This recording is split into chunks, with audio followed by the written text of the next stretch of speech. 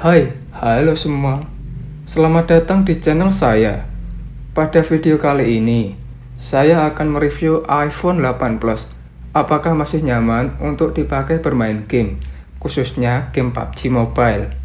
Pada video review kali ini, saya akan berfokus pada performa iPhone 8 Plus itu sendiri ketika digunakan bermain PUBG Mobile. Video ini berdasarkan pengalaman saya. Untuk lebih lengkapnya, mari simak penjelasan berikut. Kita masuk ke perhatian yang pertama, yaitu desain. Desain iPhone 8 Plus ini memiliki bentuk dan ukuran yang mirip dengan iPhone 7 Plus. Bahkan, kedua HP ini bisa dipakai in case yang sama. Perbedaannya terletak di material yang digunakan. Di iPhone 7 Plus menggunakan bahan aluminium, sementara iPhone 8 Plus menggunakan bahan kaca. Untuk feel menggenggam ketika bermain terasa kompak dan nyaman-nyaman aja. Walaupun desain di bagian depan terdapat bezel yang tebal atas dan bawah. Ya butuh penyesuaian lah ketika menggunakan HP ini untuk bermain.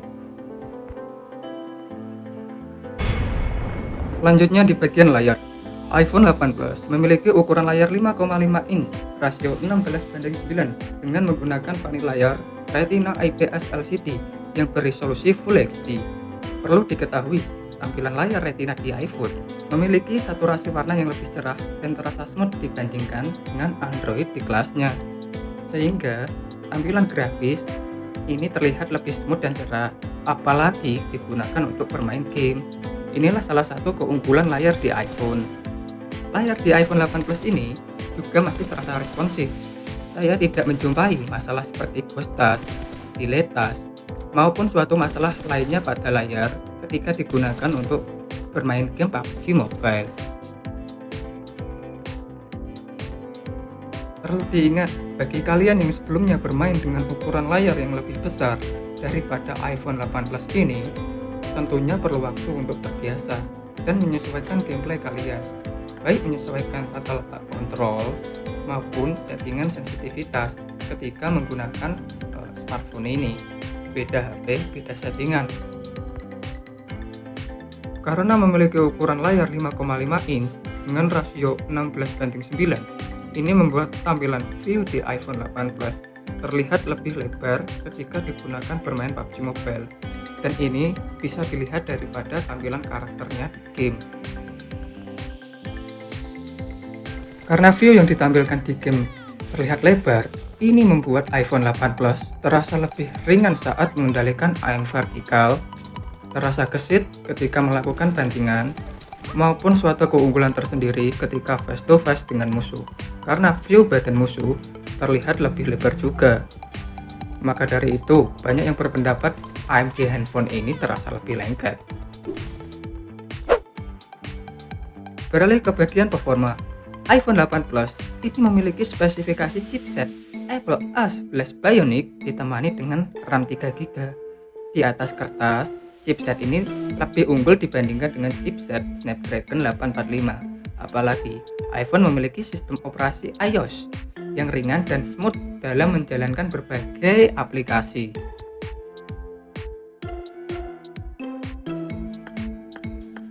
Pengalaman bermain PUBG Mobile di Classic maupun di Scream masih terasa smooth dan lancar. Sedikit cerita ya, ada teman saya yang menggunakan Redmi Note 8 Pro ketika bermain PUBG Mobile, baik di Classic maupun Scream.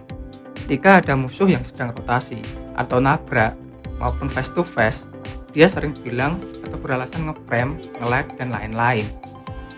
Saya tidak merasakan nge-lag maupun ngeframe ketika teman saya berkata demikian, dengan catatan, suhu di iPhone 8 Plus ini tetap terjaga. Karena HP ini akan mulai terasa penurunan FPS-nya apabila daya tahan baterainya rendah, kemudian suhunya menjadi panas. Baik bermain klasik maupun screen.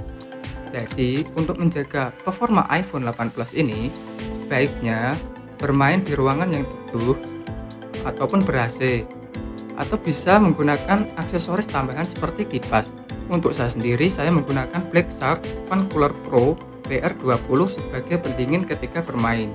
Ini kipas gaming ya. Dan memang terbukti ampuh untuk mengatasi overheating ketika bermain game dengan waktu yang lama, sehingga performa tetap terjaga smooth dan lancar. Yang terakhir di bagian baterai. Baterai di iPhone 8 Plus ini memiliki kapasitas 2691 mAh. Kapasitasnya tergolong kecil jika digunakan untuk bermain game. Dari indikator 100 sampai 20% mendapat waktu rata-rata 2 jam 45 menit di device yang saya pakai.